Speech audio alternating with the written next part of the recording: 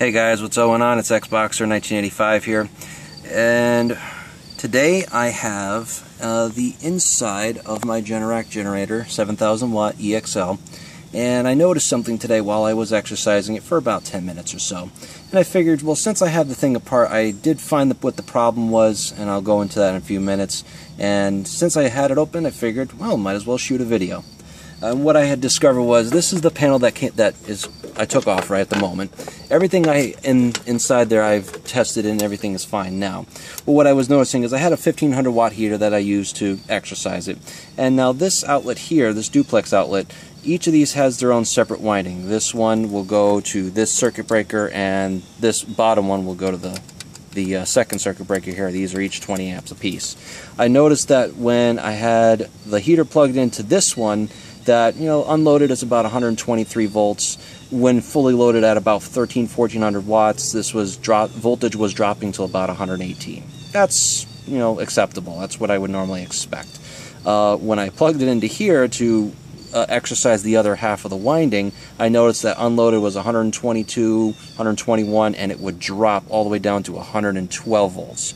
Immediately, I kind of thought, okay, well, this is probably a resistance issue and a bad connection, so I decided to take the panel apart. Now, unfortunately, the way that these things connect, they're uh, spade connectors. Here's your 230 amps, and here's your uh, 220s.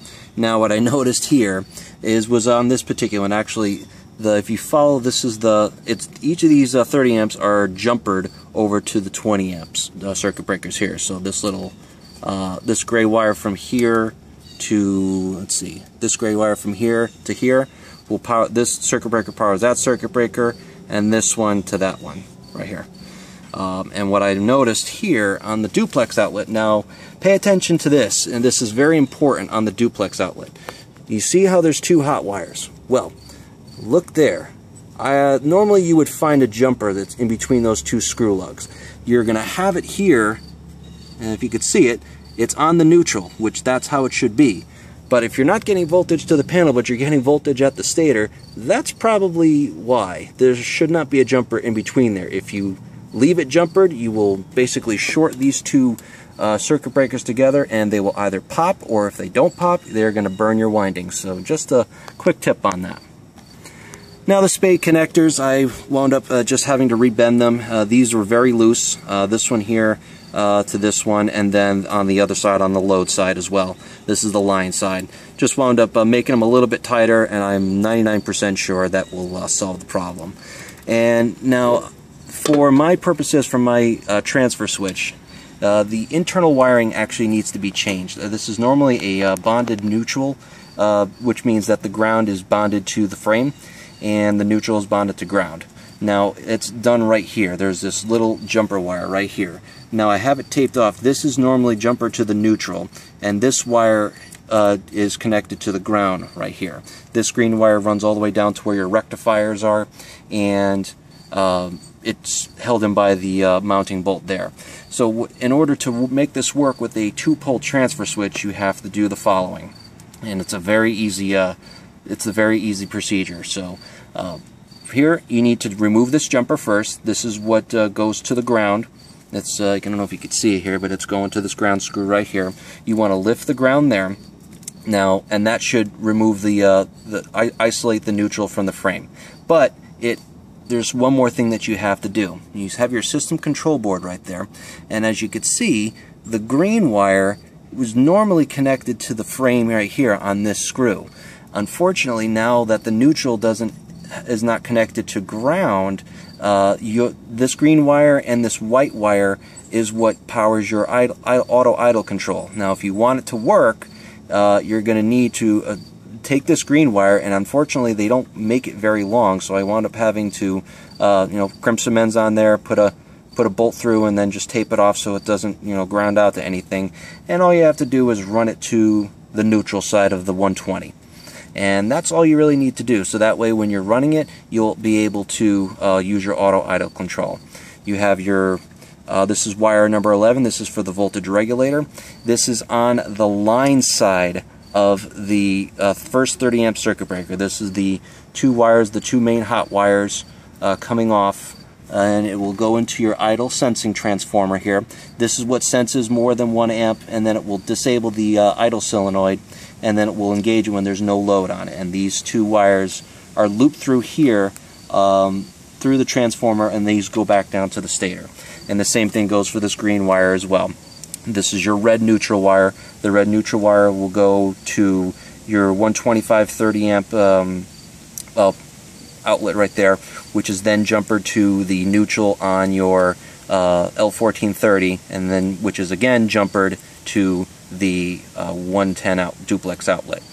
That's essentially the the basic wiring. You have your um, this is for your DC outlet right here.